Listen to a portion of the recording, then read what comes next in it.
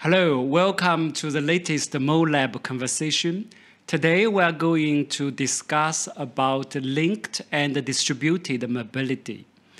In a way, it is banal to say that the movements of people, movements of things, of information and energy are interrelated. And uh, they are also distributed in the sense that people of different positions move in different way, um, yet the different type of mobilities are interrelated. So in this sense, they are distributed, right? So they are structured uh, in a non-random way. It is, in a way, commonsensical, but we wanted to uh, investigate more because in the current world, we see more and more businesses as well as government interventions are consciously making new connections among the mobilities of people or mobilities between different things. In this process, things are often taken apart in order to move more quickly.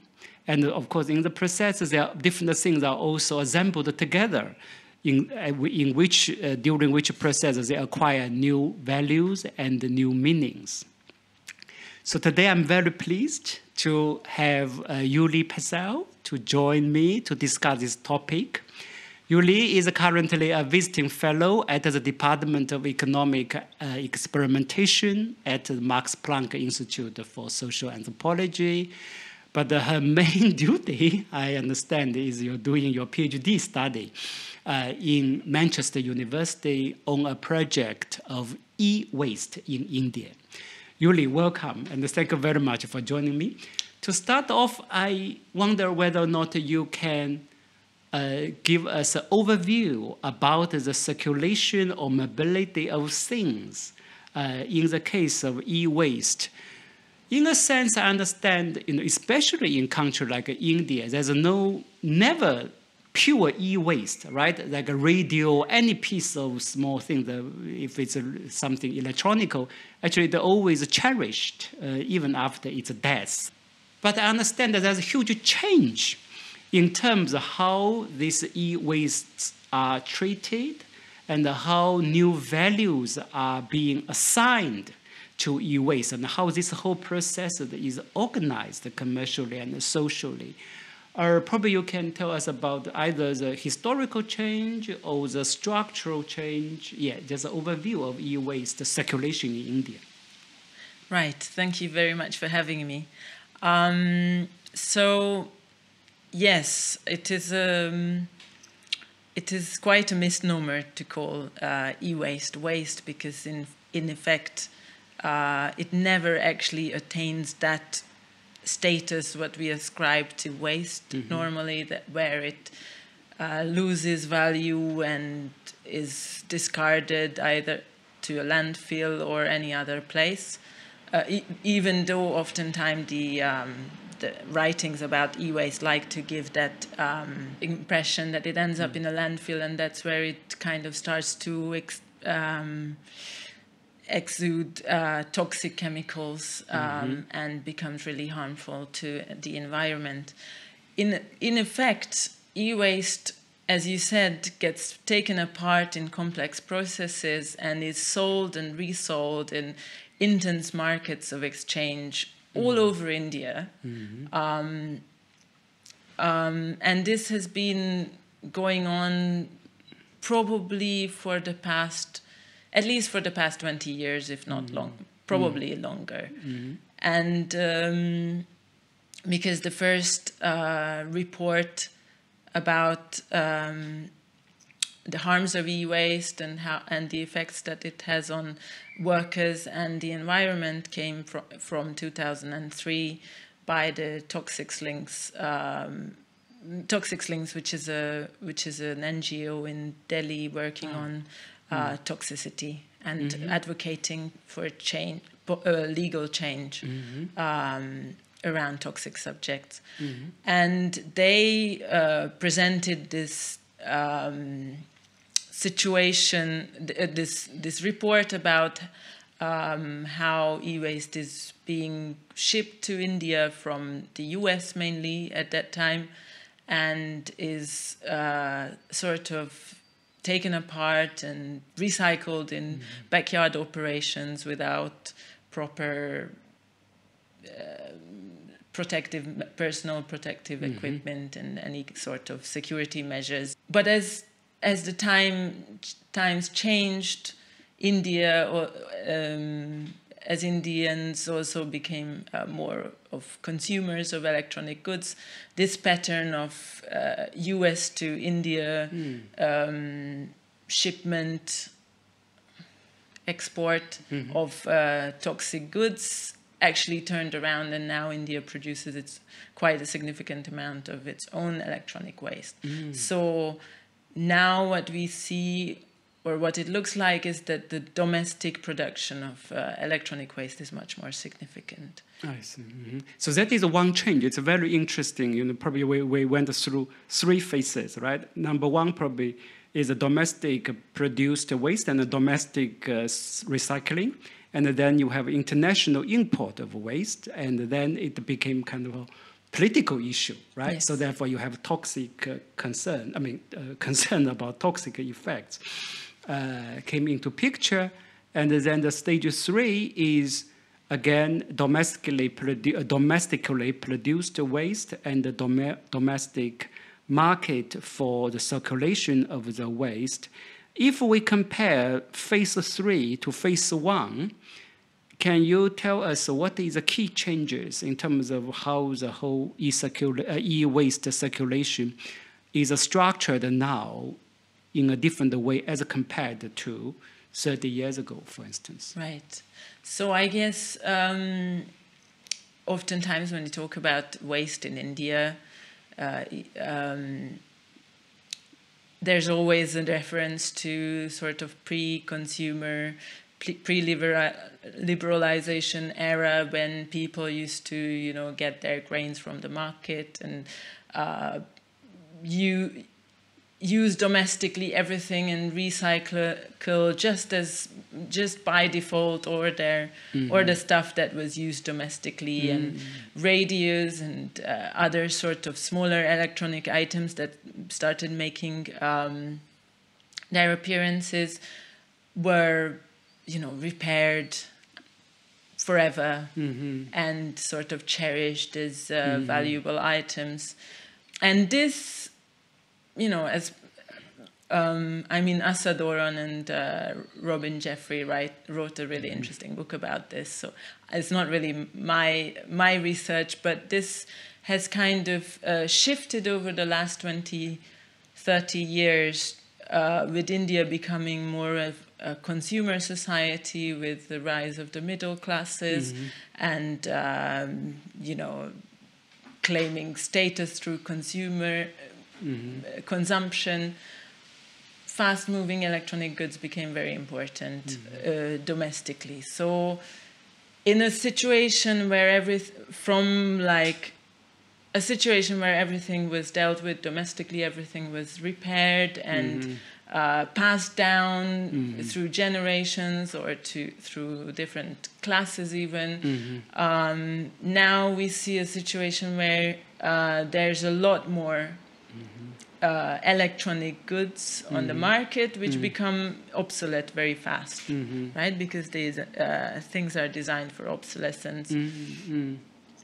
What uh, needs to be also highlighted here is that um, what becomes obsolete doesn't always, as as I already said, doesn't really become waste. So, for example, one of mm-hmm. the ways in which uh, used electronics get a second life, for example, is to be assembled into um, desktops that are rented out for IT firms or uh, smaller IT firms or for um, um, you know startups or um, what are they called? Um, service centers. Sorry. Okay. sorry mm-hmm. Um, so that becomes because of the wide availability of sort of used electronics goods, the entry into these uh, spheres become cheaper as well because mm. you can use older technology that's mm. been discarded. Mm. But with as with anything, some parts actually become use, you know, they don't work anymore. And then what happens is um, they enter into these um, intense, intense markets of buying and selling. I mean, there's a, there's already a used electronics market where they buy mm-hmm. and sell for items that actually work. Mm-hmm and can ha- be given a new life. But there's mm-hmm. also a, a, very big uh, all India mm-hmm. um, circulation of old electronics that don't that are being that need to be taken apart, mm-hmm. and it's uh, done by a. Um, so one one prominent group that I worked with, and they mm-hmm. claim they they control uh, you know, a largest share of the market um, is the, is a group of uh, people called the Maliks, who are mm-hmm. Muslim Telis from eastern, uh, western Uttar Pradesh, from around Meerut, mm-hmm. and they have been in the kabariwala business, the the um, sort of scrap dealer business, for even longer sometimes, mm-hmm. And they operate these in a sense, uh, all India collection system, mm. uh, but it's not it, not an official collection system where they um, uh, send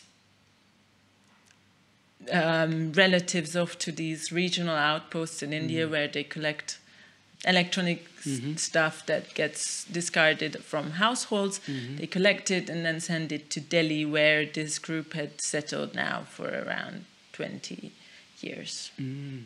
So that's fascinating, Juli.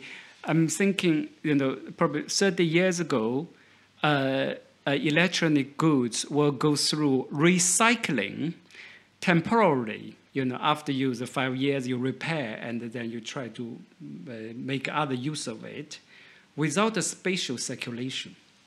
But now is that the temporal recycling is replaced by spatial circulation, right? Once it stops working or even it's perfectly workable, but you don't want it anymore, and it ends life in this household and then it will travel across India to find new users or to be taken apart. So now we think of the spatial circulation of these goods and uh, why is it structured in this way? I mean, the circulation is structured in that this way. It's collected from different India and then sent to Delhi. I suppose it's a center what is the logic behind this? What will happen after being sent to Delhi? I see.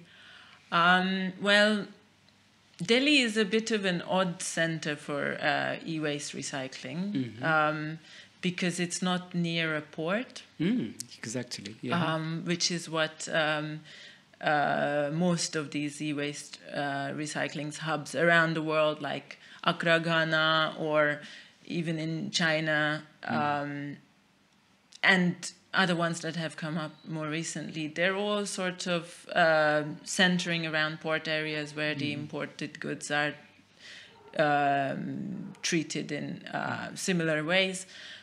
In Delhi, it's potentially because of its uh, it's commercial cent- it's become a commercial center in the last 20 years um, but also this group, if it's true that this group kind of controls this mm-hmm. trade, which mm-hmm. is what they claim, mm-hmm. or the most visible part of this trade, because there are other communities working in different mm-hmm. parts of the of the value chain.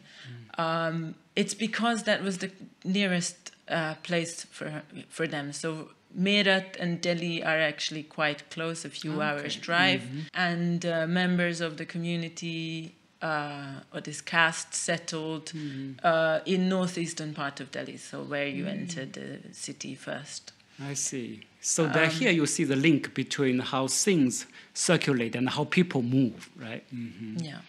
Yeah. So uh, what happened afterwards? I mean, when they arrive in Delhi, what will happen? So actually, beyond the domestic uh, production. I think we, I need to say that uh, also mm-hmm. before that beyond the uh, domestic production of, or the sort of household, the stuff that comes out of households, the most significant part of e-waste comes from uh, private uh, offices and um, the pub uh, the public sphere, the government uh, sphere. It's about so the number is supposed to be around seventy percent. Oh, okay. Um, so the other thing that members of the Malik caste do is to take part in government auctions, um, which are aimed to to dispose of uh, waste that comes from these offices in uh, a responsible way. They, These uh, people need to be licensed and everything, and have these um, numbers that they can log on to the internet system and things like that. Um, and that's where the bulk of the uh, material comes from, especially uh, CPUs, central processing units, and the screens and things like that.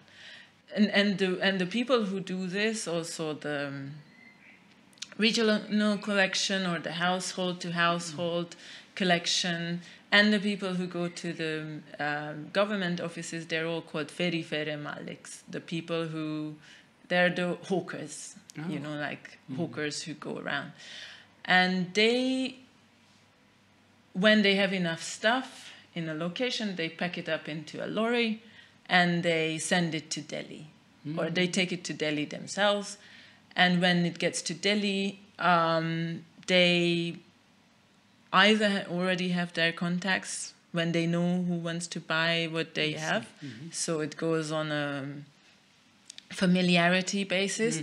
Or if they don't, they can't get rid of their stuff that way, then they um, park their lorries close to there's a couple of these recycling cent- or like these e-waste markets in northeast delhi and they park their lorries, let down the hatches, and then everyone can come and not everyone on the. It's the an open e- market. It's it becomes an open market. So you can see through this circulation, so waste acquire new commercial value in a way.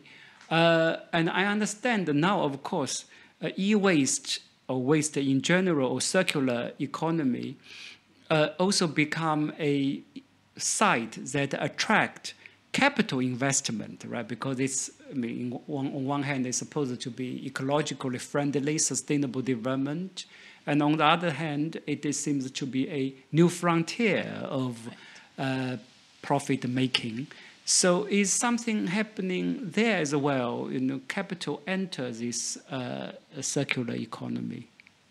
Right. So um, the idea of circular economy is um, is really becoming uh, attractive to, or or or it may or it's a it's sort it's a language to sort of make big um, industrial players also interested in environmental uh, practices. Because circular economy promises you know unending resources and um, regeneration and production without um, side effects or without ex- externalities like waste that have to be disposed of and they cost money to dispose of them. So in India right now there's a huge sort of push to uh, get, uh, on the one hand, to get um, investment into e-waste recycling, and so therefore there's a lot of uh, reports that are sort of calculating the um, the in- investment potential of e-waste. Uh, but at the same time, there's also a law that's been uh, not. It's the e-waste management rules of 2016, which have been notified in 2017, uh, which make it um, compulsory for large electronics producers like you know large brands uh, that produce computers tvs phones uh, even air conditioners and washing machines um, that they need to um, take responsibility for the cons- post-consumption waste that comes out of their sales and make sure a certain percentage of their yearly sales that become obsolete go, goes into formal, um, registered, and responsible recycling um um, channels. Oh. Mm-hmm. And so that is already creating a situation. It's, mm. it's based on the EPR, the Extended Producer's Responsibility mm-hmm. um, principle, which is already in place in Europe mm-hmm. since the 90s, but in India it's a very new thing. Mm. And um, it's also sourcing um, the required um, funds to uh, to treat electronic waste because mm. actually when you do it in the formal channels it be, oftentimes it can become uh, some some aspects and some parts of it can become negative value so for example disposing of uh, leaded uh, glass mm. in CR, old crt monitors that's negative uh, that companies need to pay to get rid of that. So to foot that bill, uh, they are um, bringing in um, or they are they are sourcing that money from producers by law. That's okay. the that's the ideal. I see. Mm-hmm, mm-hmm. That's very interesting. Now we're talking about at least three channels for the circulation of e-waste. One is that you know caste-based and regional-based, but the nationwide networks. Number two you have this officially designated formal channel. And the number three, you said is also capital investment uh, who are not made by the producers, it's the third sector. How the three are related? Or they are not related? Um, well, um, I think they are working on linking these channels up. Mm-hmm. And uh, one really interesting player in this um, in this um, effort to link up these channels is mm. a um, is the the category of a company called the PRO Producers Responsibility Organization, mm-hmm. which is uh, the 2016 laws make provision for this kind of uh, um, entity, which is a, a, a, a company that works on helping large producers uh, fulfill their law mandated responsibilities. Mm. So I worked with one uh, company mm. like mm. this. Mm-hmm. Um, I call the company Sahikam. Um, mm-hmm. That's my pseudonym for them. It means in Hindi the right work or the right way to work. Mm-hmm. Um, and they have been so this company especially has been really active in working together with uh, producers, so electronics companies, big brands, international and local brands, uh, as well as international organizations that are trying to foster investment in the business. So there, there's an uh, um, sort of a push to invest in recycling plants and uh, reverse log- logistic channels. Um, of which there's already quite a bit, but they operate in a, a sort of shady way. Mm-hmm. That's a different mm-hmm. different topic. And then this company, the one I worked with, they also work very closely with uh, members of the of the caste, the Malik cast, mm-hmm. because they buy up waste to fulfill producers' uh, targets that need to be channeled into official recycling. Uh, mm. Um, so they have this like two-way communication, which mm. I found really interesting. So they need to kind of capture corporate interests as well as local and uh, mm. of a certain of a, a totally different sphere. Mm. So this company, you know, uh, you work with, they make money primarily uh, due to the government imposed uh, obligation over big manufacturers, uh, and then probably partly uh, through genuine circulation. Just you know, you you buy the goods at a lower price, but you sell it after repackaging and this. So is that the correct analysis of the main source of profit and which one is big? And also, actually, I guess my question is how you cellularize that and how should they understand this type of value that it is there and then materialized by this type of company. How should we understand that? Well, the theory part mm-hmm. is really interesting, and I don't know yet. This is what I'm Mm-hmm. trying to figure out through my thesis. Mhm. Um, but I'm. Um, sorry, what was the uh, the first part of your question? I got very. Oh no, the two sources of profits is that correct? Uh, yes, Yeah. that mhm. that's right. So what they do is they um, sell these packages to Mm. uh, producers. That, that that kind of that includes uh, the service of filling their paperwork to the Mhm. government, to the CPCB, the Central Pollution Mhm. Control Board, Mhm. but also uh, they decide the targets that the company because not all so most uh, producers prefer to do their own collection so it's optional to work with these companies as well so that makes their work really hard kind of to mm-hmm. to get to capture this market. Mm-hmm. Um, and because they want to capture this market they have been working to the you know the perfection of environmental logic and respon- and responsibility and accountability which is why they became very interesting for me. Mm-hmm. But the other interesting part is so their struggle this is their source of profit but this is also their struggle because actually when they buy up waste they don't buy it very cheap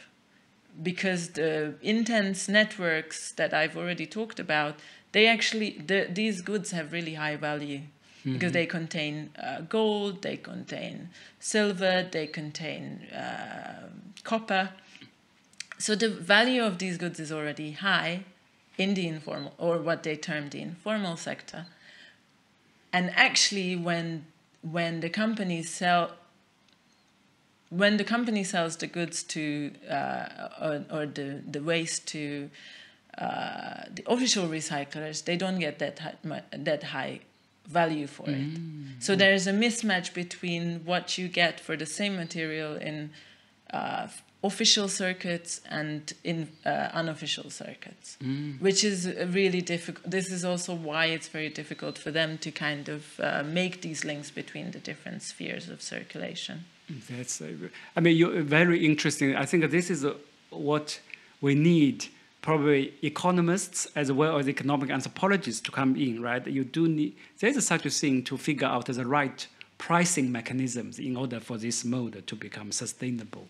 Uh, so, who are these peoples? I mean, uh, these uh, startup companies who fulfill obligations for manufacturing by buying wastes and, uh, and uh, uh, circulating them? I mean, belong to a particular social group or caste again? Or Right. So PROs are, in general, can be of different types. Um, often recyclers who've already been in the business, they've started setting up PROs. Um, but the one that I worked with and I was really interested in um, is actually um, founded by uh, and run by pe- internationally uh, mobile people. Um, uh, with an experience of environmental science and or a background and uh, corporate social responsibility and corporate environmental kind of measures. So they really have the expertise of how to think about environmental issues in a corporate uh, context. Beyond that, um, many of the the the employees that I worked with, they were actually um, associated to um, environmental programs in Europe. So what's really peculiar about that is that even the the legal framework or the policy framework EPR um, is um, is a sort is a sort of adaptation of the European framework mm-hmm. for managing uh, these goods. But even beyond that, they have a cultural experience. They have a social, you know, a migration experience of having been to Europe and how it's done there, mm-hmm. and they have an imagination, or there is a collective imagination, at least in the company, that mm-hmm. we need to do this to those kind of standards. Mm. So that's a fascinating. Again, that is a quite relevant to a sub theme that we wish to explore as well under the theme of linked and distributed mobilities, namely how expertise and knowledge becoming more important in facilitating and conditioning mobilities. Right, as you said, these people come in are not only circulating e-waste as goods, but also they are circulating knowledge, circulating discourses, and of course, materially circulating all the forms and the certificates to satisfy the need of cooperation. Right? Juli, thank you very much for this conversation. Yeah. Thank, thank you very much for the chance.